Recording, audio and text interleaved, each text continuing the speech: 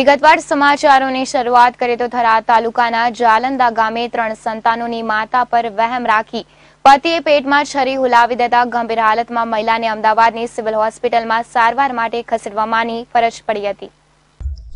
થરાદ તાલુકાના પેપરાલ ગામની પરિણીતા પર વહેમ રાખી તેનો પતિ અવારનવાર ત્રાસ ગુજારતો હોવાથી પરિણીતા તેના પિયરમાં આવતા ઉશ્કેરાયેલા પતિ તેના પિયર જાંદલા ગામે આવી વહેલી સવારે સૂતેલી તેની જ પત્ની પર છરી વડે પેટ અને ગળાને ભાગે જીવલેણ હુમલો કરી ગંભીર ઇજાઓ પહોંચાડતા પરિણીતાને સારવાર માટે થરાદ, પાલનપુર અને ત્યારબાદ ગંભીર ઇજાઓને કારણે અમદાવાદ સિવિલ હોસ્પિટલ ખાતે સારવાર અર્થે ખસેડાઈ હતી. થરાદ પોલીસ મથકે પ્રણીતાની માતાએ તેના જમાય વિરુદ્ધ ફરિયાદ નોંધાવતા પોલીસે તપાસ હાથ ધરી હતી. થરાદ તાલુકાના ચાંદલા ગામની પરણીતાના પતિ તેના પર વહેમ રાખી મારઝૂડ કરતો હતો. ત્રાસ સહન ન થતા પરણીતા તેના ત્રણ સંતાનો સાથે તેના પિયર ચાંદલા ગામે આવી હતી. પરણીતા તેના પિતાના ઘરે સૂતી હતી. ત્યારે વહેલી સવારે તેનો પતિ ત્યાં છરી લઈને આવ્યો અને છરી વડે પત્નીને પેટ અને ગરદનને ભાગે જીવલેણ હુમલો કરી ગંભીર ઈજાઓ પહોંચાડી ભાગી ગયો હતો. મારી છોકરી પેપળા પહેણાવેલ હતી. પેપળાલ પહેણાવેલ હતી ને દાડે ત્રણ વાગે આવી. ત્રણ વાગે આવીને રાતે અમે પછી ખાઈ પીને હું ગઈ જાઉં.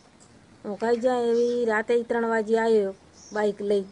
બાઇક તો આપણે ઊભું રાખ્યું. ને પછી તાન તાર આવ્યો એવો અમે ત્રણેય ત્રણ માજી ચરી હું જીત્યો. એને ઓળખી, એના માથાના બાલ કાંઠા ગરી અને કોતડો કાપવા વળી ગયો એટલે અમે બરાળી બરાળીને માથે પીડ્યા પર. એટલે અમને ઉછળી ઉછળીને થેટો આખું કે હાથે નાસી જીધો અને પછી મારે ડોહો તો કન જાતા એટલે ડોહો તોડીને એટલે ડોહાને તેરવી જીધા પછી બીલી બાયલી કન આવી હતી, બાયલીને તેરવી આલી, મને તેરવી આલી. અને એ બાયલીને એને મારે અમિતાને ફરીએ ખુશ ખુશ કરી. ત્રણ ચાર ફરીએ ફરી પેટમાં ખુશી ભરી. બે ત્રણ હાથે એક આવું પાકથી ખુશી ભરી.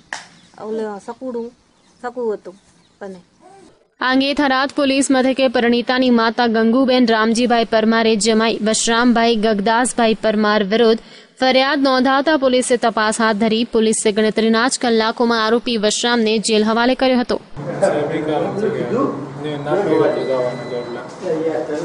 બહાર ગયેલો એટલે પછી ઘર પણ એવું કીધું એમ કઈ ગયા પાસ અસર કે તારા હોય તો અહીંયા આવી રહ્યા તો શું કોઈ શરીરના ઘા જીકે છે? કોઈ નશા નશો કરીને જીકવામાં આવે છે કે?